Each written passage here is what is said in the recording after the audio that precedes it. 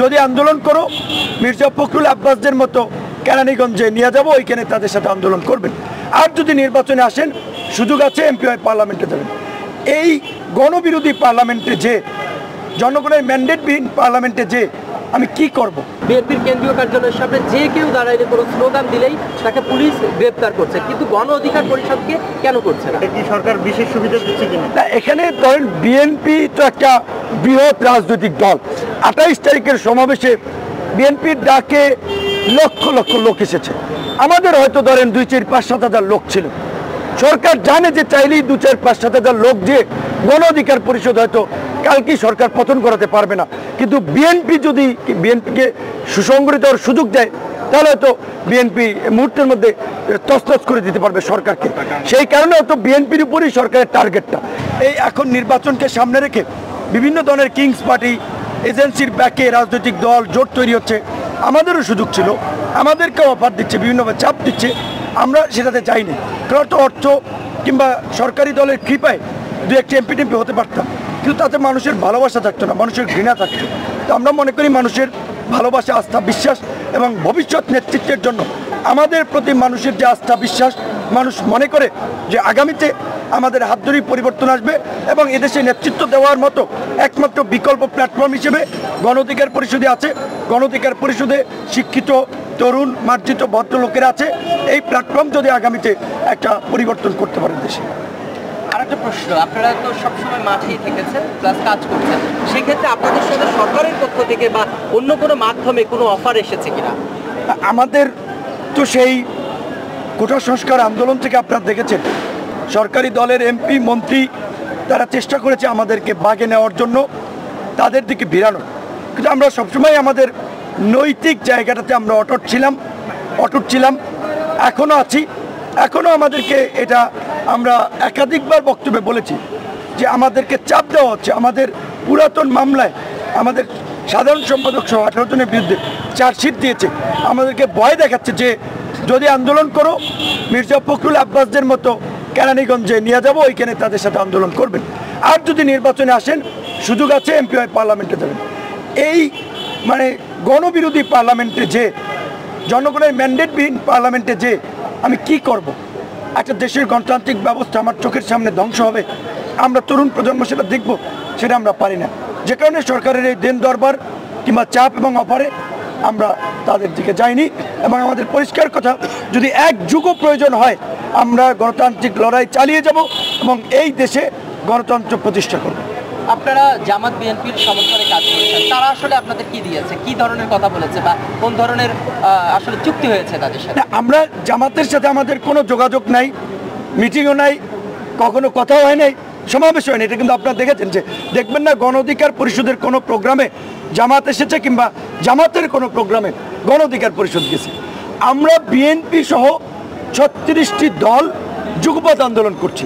তার মধ্যে কিছু দল কেবলা পরিবর্তন করেছে মানে রাজনৈতিক কেবলা পরিবর্তন করে তারা এখন বিরোধী দল থেকে, গণতন্ত্র থেকে ফ্যাসিবাদের দিকে মুখ ঘুরিয়েছে, সেটা আলাদা বিষয়। কিন্তু আমাদের এই আন্দোলন, জামাতের সাথে আমরা আন্দোলন করছি বিষয়টি এমন না। তবে তারপরেও জামাত যুগপথ আন্দোলনে আছে। আমরা জামাতকে ওয়েলকাম জানাই, ধন্যবাদ জানাই জামাতকে। কারণ আজকে বিএনপি বলেন, জামাত বলেন, সবাই তো ভুক্তভোগী, সবাই তো এই ফাঁসিবাদের যাত্রাকালে পৃষ্ঠ সেই জায়গা থেকে আমরা মূলত বিএনপি সহ যে ছত্রিশ দল, বিভিন্ন জোট আছে, তারা কিন্তু ভার্চুয়ালি বিএনপির চেয়ারপারসন ভারপ্রাপ্ত চেয়ারম্যান জনাব তারেক রহমান সহ বিএনপি স্ট্যান্ডিং কমিটির লোকেরা মত বিনিময় করে, মিটিং করে যে পরবর্তী কর্মসূচি কী নেওয়া যায়, কী পদক্ষেপ নিতে পারি, আন্দোলনকে কীভাবে বেগবান করা যায়, এই সমস্ত বিষয়ে আলাপ আলোচনার শেষে কিন্তু সবাইকে কর্মসূচিটা জানিয়ে দেওয়া হয়। হয়তো আমি এখন রাজপথে আছি, কর্মসূচিটা সিদ্ধান্ত হয়েছে, এখন আমি হয়তো এই, আমি আপডেট পাইনি, আমি বিকেলে পাচ্ছি। আরেকজনে আবার দেখা যায় বিকালে প্রোগ্রাম ডাকছে, সেখান থেকে ঘোষণা করছে, সংবাদ সম্মেলন থেকে ঘোষণা করছে। কিন্তু কর্মসূচি কোনো একক দলের না। আমরা আলাপ আলোচনা করেই এই কর্মসূচি ঠিক করি এবং এটা বিএনপির আন্দোলন গণধিকারের আন্দোলন এরকম না। এই আন্দোলন গণতন্ত্রের আন্দোলন। সবাই মিলে আন্দোলন করছি সবাই মিলেই সিদ্ধান্ত নিচ্ছি সবাই মিলেই কর্মসূচি বাস্তবায়ন করছি। আমি একটু রাশেদ ভাইয়ের কাছে যেতে চাই। রাশেদ ভাই আপনারা আমরা দেখেছি ধারাবাহিকভাবে যে অবরোধ সমর্থন সেখানে সমর্থন জ্ঞাপন করেছেন এবং সমর্থন বিক্ষোভ মিছিল নিয়ে আপনারা সরাসরি মাঠে যুক্ত ছিলেন রাজপথে। সেই সাথে আমরা দেখেছি বিএনপির কেন্দ্রীয় কার্যালয়ের সামনে কিছু সময় অবস্থান করেছেন এবং সেখান থেকে বের হয়ে আসছেন এর আগে আর একদিনও করেছিলেন। আপনারা এই ধরনের সমর্থন এবং এই ধরনের সমর্থন করায় কোনো ধরনের বাধা বিঘ্ন এসেছে কিনা বা কোনো ধরনের হুমকি এসেছে কিনা?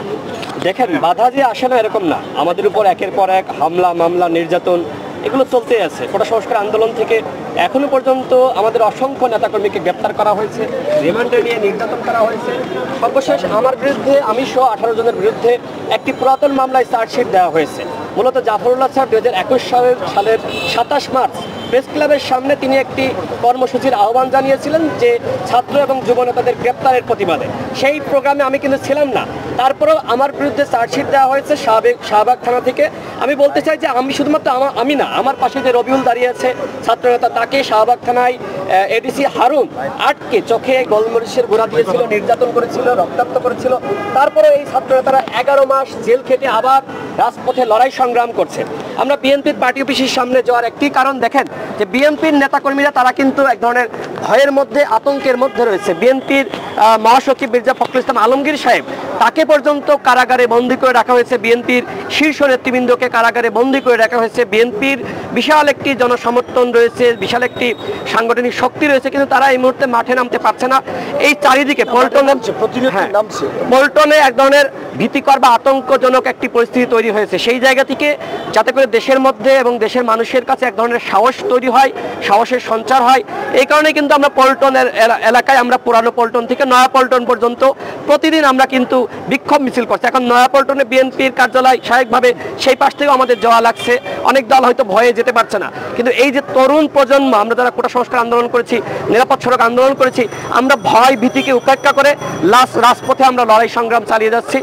আমাদেরকে যদি গ্রেপ্তার করা হয়, আমরা ঘোষণা দিয়েছি যে রাজপথ থেকে গ্রেপ্তার করুক। আমরা বাড়িতে পালিয়ে থাকব, আত্মগোপনে থাকব। সেই ধরনের মানসিকতা অন্তত আমাদের নাই। বিএনপি আজকে অলিতে গলিতে আন্দোলন করছে। তাদের নেতাকর্মীদেরকে আপনি দেখেছেন, যেভাবে নির্যাতন নিপীড়ন করছে, কেউ বন জঙ্গলে ঘু- ঘুমাচ্ছে কেউ মাঠে ঘুমাচ্ছে বাড়িতে কেউ থাকতে পারছে না। সেই জায়গায় তারা কিন্তু তাদের জায়গা থেকে সক্ষমতা অনুযায়ী তারা কিন্তু আজকে বাড়িতে বাড়িতে ঘরে ঘরে পাড়া মহল্লায় দুর্গ গড়ে তুলেছে।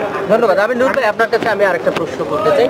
সেটা হচ্ছে মাঠে নেই বিএনপি আমরা দেখেছি সেখানে গণ অধিকার পরিষদ তারা ভিপি নুরের নেতৃত্বে বিএনপির কেন্দ্রীয় কার্যালয়ের সামনে অবস্থান। এটি আপনি কীভাবে দেখছেন? বিএনপি মাঠে নেই, এটা সঠিক না। সারা দেশেই আপনি যদি বিএনপি ভেরিফাইড ফেসবুক পেজে যান, দেখবেন যে তাদের কর্মসূচি।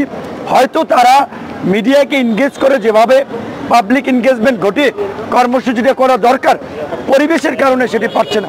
কিন্তু বিএনপির ছাত্রদল, যুবদল, জেলা, উপজেলা, সব জায়গায় কিন্তু আন্দোলন চলছে। এবং আপনি যদি দেখেন যে বাংলাদেশের ইতিহাসে এই এরশাদ বিরোধী আন্দোলন কিংবা আওয়ামী লীগও যখন ছিয়ানব্বইয়ের আপনার আন্দোলন করেছে কেয়ারটেকার সরকারের অধীনে। এইভাবেই আন্দোলনটা হয়েছে। তো আজকে বিএনপি হয়তো পল্টন কার্যালয়ের সামনে জড়ো হতে পারছে না, কারণ ওখানে শত শত পুলিশ থাকে।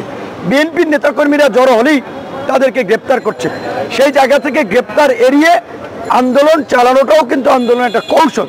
কাজে এখন আমরা তো গ্রেপ্তার, আপনার ঝুঁকি নিয়েই রাজপথে নামছি। তো সেই কারণে হয়তো আমাদেরকে এখন পর্যন্ত গ্রেপ্তার কিংবা হামলা করেনি আমরা ওখান থেকে মিছিল করে আসছি এবং আমরা সবাইকে মেসেজটা দিচ্ছি যে আজকে বিএনপি তো আমি একটু মাঝে ট্যাপ করতে চাই সেটা হচ্ছে বিএনপির কেন্দ্রীয় কার্যালয়ের সামনে যে কেউ দাঁড়াইলে কোনো স্লোগান দিলেই তাকে পুলিশ গ্রেপ্তার করছে কিন্তু গণ অধিকার পরিষদকে কেন করছে না? এটা কি সরকার বিশেষ সুবিধা দিচ্ছে কিনা? এখানে ধরেন বিএনপি তো একটা বৃহৎ রাজনৈতিক দল। আঠাইশ তারিখের সমাবেশে বিএনপির ডাকে লক্ষ লক্ষ লোক এসেছে। আমাদের হয়তো ধরেন দুই চার, পাঁচ, সাত হাজার লোক ছিল। সরকার জানে যে চাইলেই দু চার, পাঁচ, সাত হাজার লোক যে গণ অধিকার পরিষদ হয়তো কালকেই সরকার পতন করাতে পারবে না। কিন্তু বিএনপি যদি বিএনপিকে সুসংগঠিত হওয়ার সুযোগ দেয়, তাহলে হয়তো বিএনপি মুহূর্তের মধ্যে তছনছ করে দিতে পারবে সরকারকে। সেই কারণে হয়তো বিএনপির উপরই সরকারের টার্গেটটা। এই পল্টনে কিন্তু গণতন্ত্র মঞ্চ এলডিপি বারো দলীয় জোট সময় জোট, আমরা কিন্তু আন্দোলন করছি। এখন সরকারের এক এক সময় এক একটা পলিসি স্ট্র্যাটেজি থাকে যে একটা একটা করে ধরা। হয়তো এখন আমাদের ধরছে না, পরবর্তীতে হয়তো আমাদের ধরবে। কিন্তু আমাদের ধরা না ধরা, এইটা আমরা ম্যাটার করি না। আমাদের কথা পরিষ্কার যে সরকারের পদত্যাগের দাবিতে আমরা আন্দোলনে আছি, আমরা আন্দোলনে থাকব। বিএনপি সহ যুগপথ আন্দোলন চলছে, চলবে। বিএনপির নেতাকর্মীদের স্পিডকে আমরা ধারণ করে, আমাদের স্পিডকে তারা ধারণ করে আজকে বিএনপির কার্যালয়ের সামনে একটা যুদ্ধংদেহী অবস্থা তৈরি করা হচ্ছে। দু পাশে আপনার প্রায় একশো পুলিশ যারা যাচ্ছে, তাদেরকে গ্রেপ্তার করছে। সিঙ্গেললি ধরেন দু চার পাঁচজন করে যাচ্ছে বা দশ বারো জন গেলে গ্রেপ্তার করে। এই কারণে আমরা কয়েকশো লোক নিয়ে যাচ্ছি যে গ্রেপ্তার করো করো সবাইকে। দেখি তোমাদের কতগুলো হ্যান্ডকাপ আছে, কতজনকে তোমরা গাড়িতে উঠাতে পারো। তো আমরা লোক সংখ্যাও কিন্তু মোটামুটি আছি, যেখানে হয়তো গ্রেপ্তারের সাহসটা করছে না। আমরা পেয়েছি মানুষের ভালোবাসা, আস্থা, বিশ্বাস আজকে কোটি কোটি মানুষ পরিবর্তন চায়। বলা চলে দেশের আশি ভাগ মানুষ সরকার পরিবর্তন চায় দেশে গণতন্ত্র, সুশাসন আইনের শাসন চায়। তো আমরা যখন রাস্তায় দাঁড়িয়ে এই গণতন্ত্রের পক্ষে মিছিল করছি, আইনের শাসন প্রতিষ্ঠার জন্য কথা বলছি, তখন মানুষ আমাদের সমর্থন করছে। ধন্যবাদ ধন্যবাদ।